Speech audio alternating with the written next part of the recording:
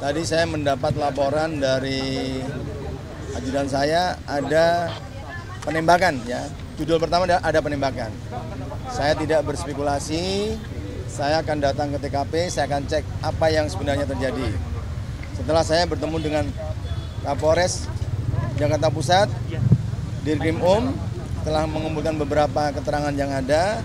Memang betul tadi pada pukul 11.24 ya di tempat ini ada orang tidak dikenal masuk ke dalam uh, pintu depan, kemudian apa mencari ketua MUI, ya, ingin bertemu dengan ketua MUI.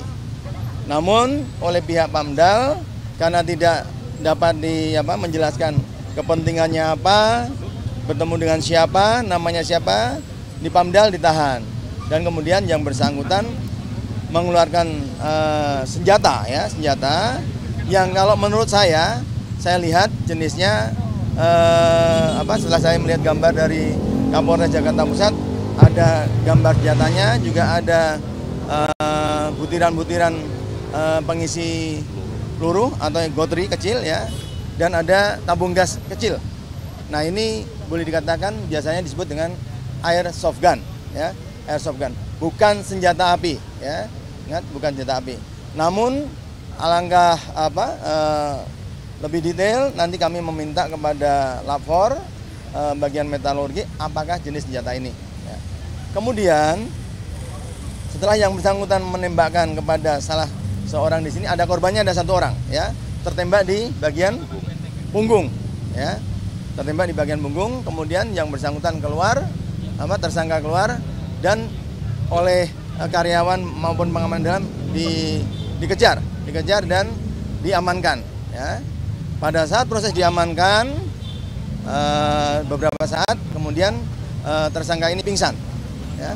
pingsan dibawa ke polsek, dari polsek dibawa ke rumah sakit, uh, tempatnya di puskesmas Menteng, ya.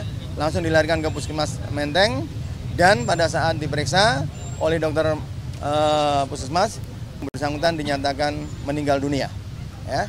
Namun ini semua belum kita bisa dapatkan yang bersangkutan. Kami uh, akan koordinasi dengan Polda Lampung karena yang bersangkutan adalah berKTP. Untuk sementara dari TKP ditemukan berKTP domisili Lampung. Lampung ya. Anggota kami akan segera ke Lampung akan berkoordinasi bagaimana latar belakang uh, tersangka ini. Ya. Nah kemudian hal-hal yang lain menyangkut uh, apa uh, pemeriksaan yang bersangkutan tersangka tentunya nanti akan kita otopsi juga apa sebab-sebab apakah yang bersangkutan punya penyakit dan lain-lain kami belum bisa menyimpulkan ya. Jelas ya?